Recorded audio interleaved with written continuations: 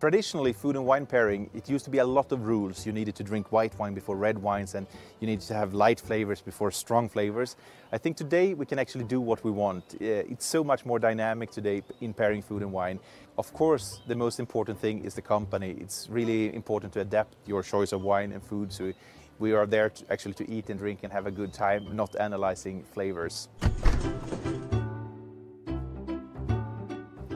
The rules used to be very much white wine with fish, red wine with meat.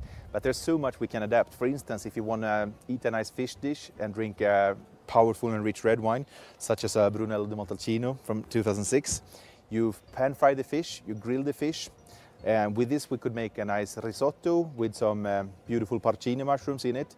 And I think mushrooms is a very wine-friendly ingredient with um, mature wines. We add some uh, mature Parmesan cheese with this one and we, um, we, we, make a red wine gravy with some balsamic vinegar, some red wine, and this will be a perfect red wine fish dish.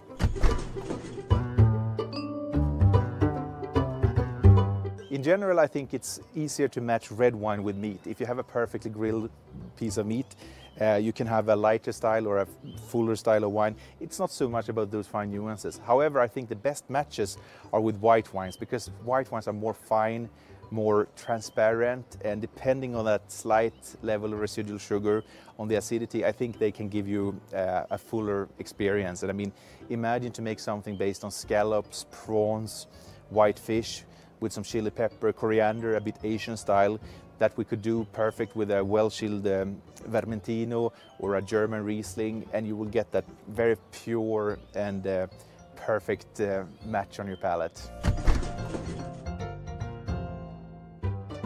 Another fundamental thing is that the food and the wines should be on the same level. With a simple spaghetti with tomato, you drink a, a simple red wine from the region. But if you go and buy fresh turbot, fresh scallops, truffle, sweetbreads, of course the wine, they need to be on a, on a slightly higher level. And if you eat that, that great dish with a simple wine, it won't be, won't be really good.